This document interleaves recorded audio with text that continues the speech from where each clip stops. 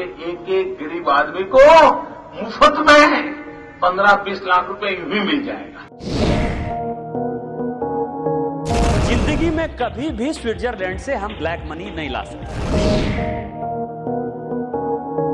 China ने हमारी सीमा पर आकर के अड़ंगा लगाया सारी दुनिया ने देखा। गूगल मैप पर सारे नागरिक देख पा रहे थे कि पाकिस्तान चाइना की मूवमेंट कैसी है। चाइना के साथ उनकी इन जो हरकतों के खिलाफ आवाज़ उठानी चाहिए थी लाल आँख कर करके चा, चाइना को समझाना चाहिए था। करीब एक हज़ार चीनी सैनिक लद्दाख के चुमोर में भारतीय ज़मीन पर पाँच किलोमीटर अंदर तक घुस आए हैं।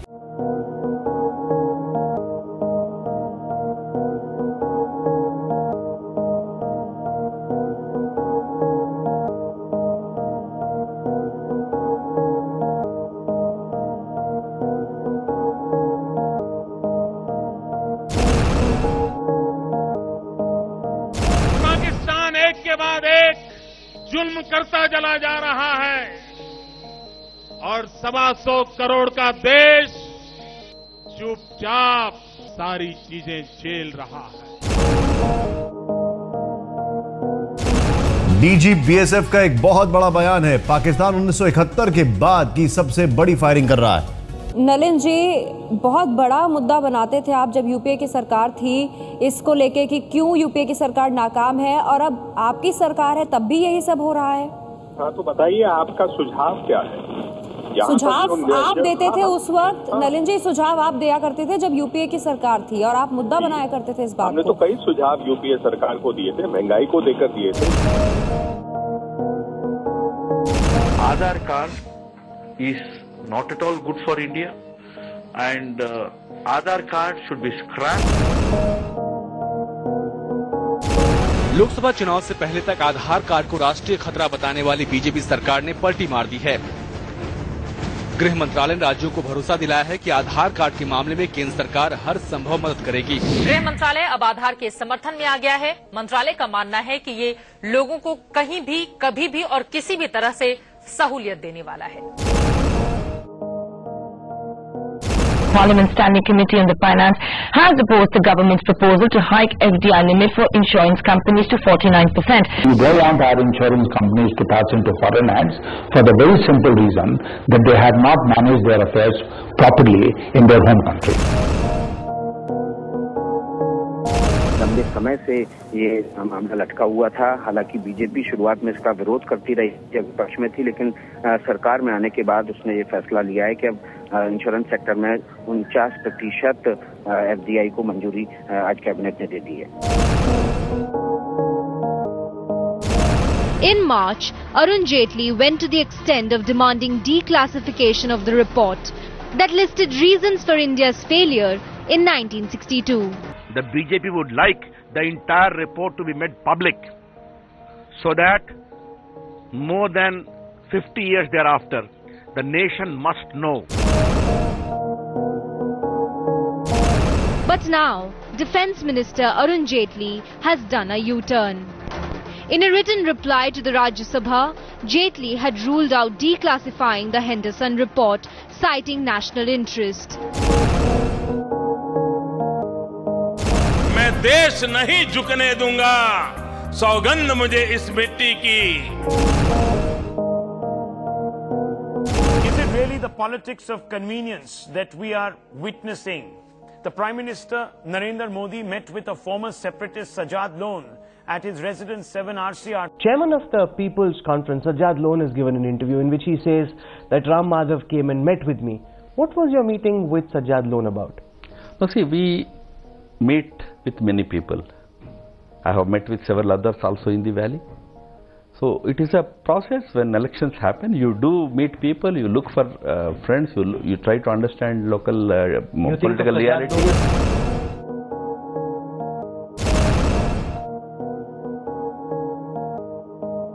Rail का किराया बढ़ा जो नए रेल मंत्री आए हैं उनका पूरा का पूरा ज़ोर लोगों की जेब काटने पर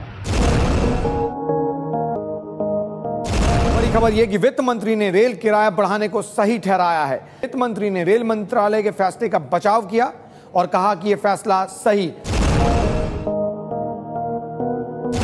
किसान को जो लागत लगती है खेती करने में, उसका जो इनपुट कॉस्ट है, बीज होगा, पानी होगा, बिजली होगी, खाद होगा, दवाइयाँ होगी मजदूरी होगी, जितना भी प्रकार का उसका खर्चा होता है, उस खर्चे का हिसाब लगाया जाएगा।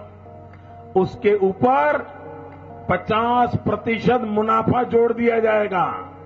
और जो बनेगा, वो सपोर्ट प्राइस होगी अब।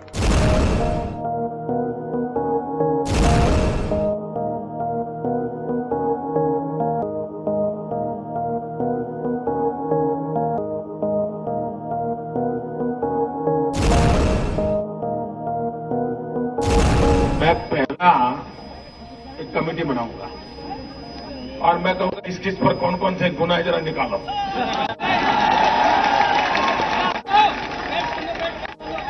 उसमें भाजपा वालों को भी नहीं छोड़ूँगा।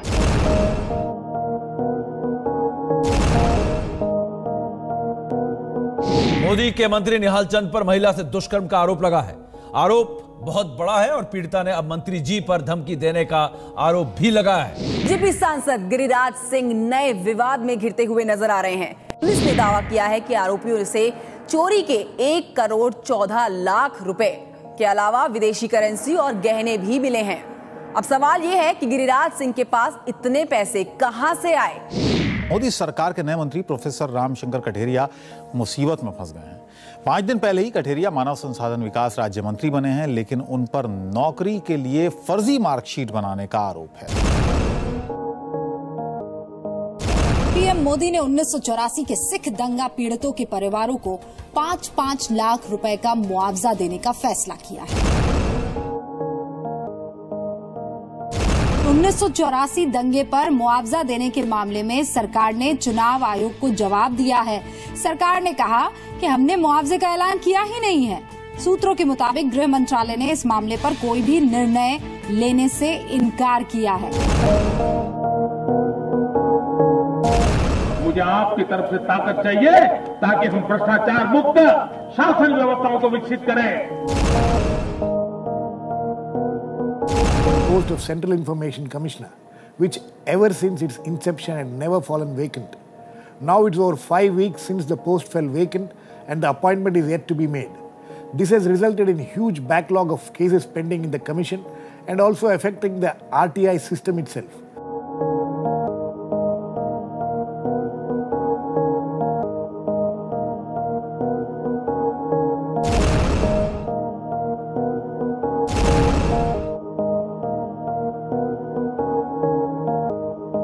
Well, Prime Minister has proposed the name of jurist P.P. Rao as the fifth member of the selection panel, but Sushma Swaraj opposed his choice. Ma'am अगर थोड़ा सा बता देते कि आप मिलने जाएंगे प्राइम मिनिस्टर से कोई प्रेसिडेंट से मिलने जाएंगे प्रेसिडेंट से अपने आप आदमी घुस जाता है क्या सही मांगते हैं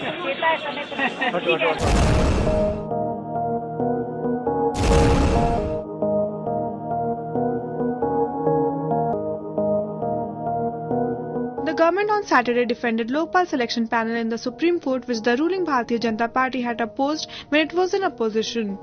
The BJP-led NDA government filed an affidavit in the Supreme Court defending the appointment of senior advocate P.P. Rao as the eminent jurist to the Lokpal panel. Earlier, the BJP had opposed Rao's nomination to the panel calling him loyalist of Congress party. Delhi BJP के अध्यक्ष सतीश उपाध्याय ने बड़ा बयान दिया है अपनी press conference के अंत में मीडिया से बात करते हुए सतीश उपाध्याय ने कहा कि आज ही बन रही बन रही है सरकार। Thank you thank you very much हो गया यार अभी आई- आज ये सरकार बन रही है। अरविंद केजरीवाल ने एक स्टिंग ऑपरेशन के ज़रिए बीजेपी पर खरीद फरोख का आरोप लगाया है। अरविंद केजरीवाल ने आरोप लगाया है कि उसके विधायक दिनेश मोहनिया को खरीदने की कोशिश हुई है। क्या धारा 370 से यहाँ के सामान्य मानवी का भला हुआ है या नहीं हुआ है, इसकी चर्चा तो कम से कम करो। ये समय आ गया है कि धारा 370 पर विचार करना चाहिए, क्या ये जम्मू कश्मीर के लिए अब हितकारी है? वहाँ के डेवलपमेंट के लिए अच्छा है? भारतीय जनता पार्टी ऐसा मानती है कि ये अब जम्मू कश्मीर के लिए भी हितकारी नहीं है और देश की एकता और अखंडता के लिए भी ठीक नहीं है, इसलिए इसको हटना चाहिए। पीएमओ में राज्य मंत्री जितेंद्र सिंह ने कहा, अनुच्छेद 370 समाप्त किया जाएगा। हालाँकि बाद में वो इस बयान का खंडन कर गए। सुबह टीवी चालू करो। और पहली खबर आती है कि आज दिल्ली में एक बेटी पे बलात्कार हुआ। दूसरे दिन टीवी चालू करो, खबर आती है, सामूहिक बलात्कार हुआ।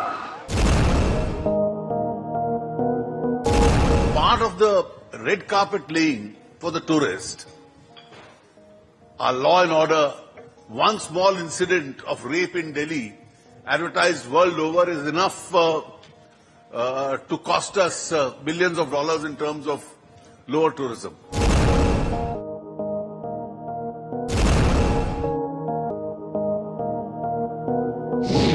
headline The government is considering an increase in income tax exemption limit from 2 lakhs to 5 lakh rupees. Sources tell CNN IBN. I propose to increase the personal income tax exemption limit by rupees 50,000. That is from rupees 2 lakhs to rupees 2.5 lakhs.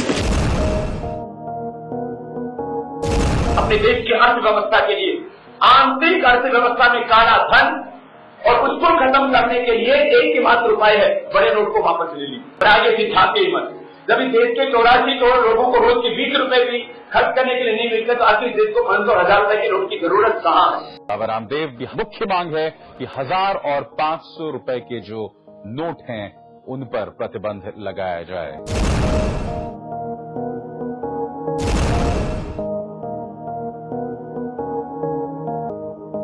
Nepal के लोग जो भारत में काम करते हैं, वो यहाँ आते हैं, भारत के टूरिस्ट यहाँ आते हैं। एक कठिनाई थी 500 और हज़ार रुपए की नोट, वो प्रतिबंधित थी। हमने नेपाल सरकार को प्रार्थना की थी और हमने मिलकर के एक निर्णय किया है कि अब भारत से 500 रुपये और हज़ार रुपये की नोट और पच्चीस हज़ार की मर्यादा में ये हम ला सकते हैं। मेरा तो मंत्र रहा है मिनिमम गवर्नमेंट मैक्सिमम गवर्नेंस प्रधानमंत्री नरेंद्र मोदी ने दिल्ली में सत्ता संभालते से पहले ही केंद्र में छोटे मंत्रिमंडल बनाने का एक वक्त पर दावा किया। प्रधानमंत्री की दलील थी, ऐसा करने का मकसद मिनिमम गवर्नमेंट मैक्सिमम गवर्नेंस के दावे को धरातल पर उतारने की है। वादे के मुताबिक 26 मई को छोटे मंत्रिमंडल ने शपथ ग्रहण लेकर शुरुआत की। लेकिन पाँच महीने के बाद ही मोदी सरकार का पहला विस्तार मंत्रिमंडल के आंकड़े को पहुँचा गया छियासठ तक। ज़ाहिर है सवाल उठेंगे। ये लोकतंत्र है इसमें सबको लेकर चलना होता है। और सबको लेकर चलने में मंत्रिमंडल का विस्तार भी करना होता है और अच्छे लोग भी चाहिए मंत्रिमंडल में। मिनिमम गवर्नमेंट का अर्थ ये नहीं होता है कि एक ही आदमी बैठा रहेगा बाकी कोई नहीं रहेगा वही एक आदमी काम करेगा।